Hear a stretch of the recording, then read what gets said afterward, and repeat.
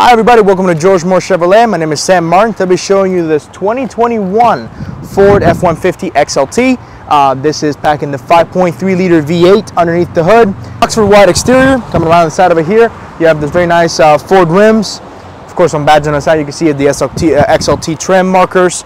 The vehicle has the keypad option, so you can pretty much just type in your code and open the door if you forgot your key or if it's locked inside. Vehicle is also equipped with blind spot sensors, which we'll go uh, take a more in-depth look once we step inside. It's four-wheel drive equipped, also equipped with a tonneau cover.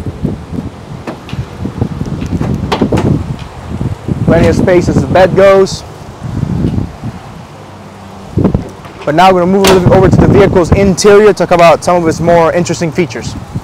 Alright, right now we're on the inside of our Ford. We'll start off with the infotainment system. Um, as far as the vehicle's infotainment system goes, you have, of course, your standard uh, Bluetooth connectivity.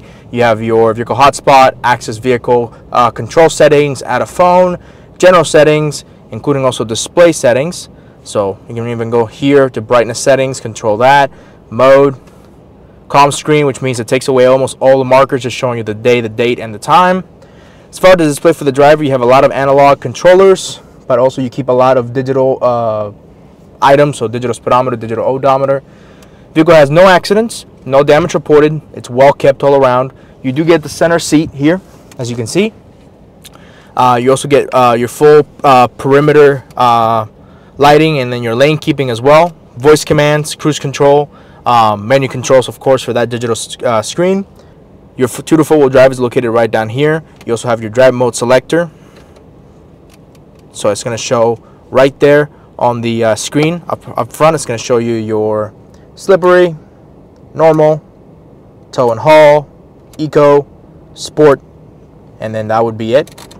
Um, beyond that, of course, putting the vehicle in reverse, that gives you your backup camera.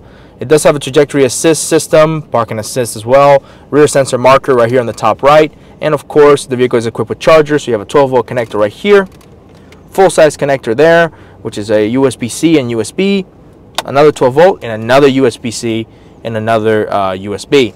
So overall, as far as back space, you got plenty of space for your passengers. You're not going to be collapsed in or anything like that. This is the crew cab setup.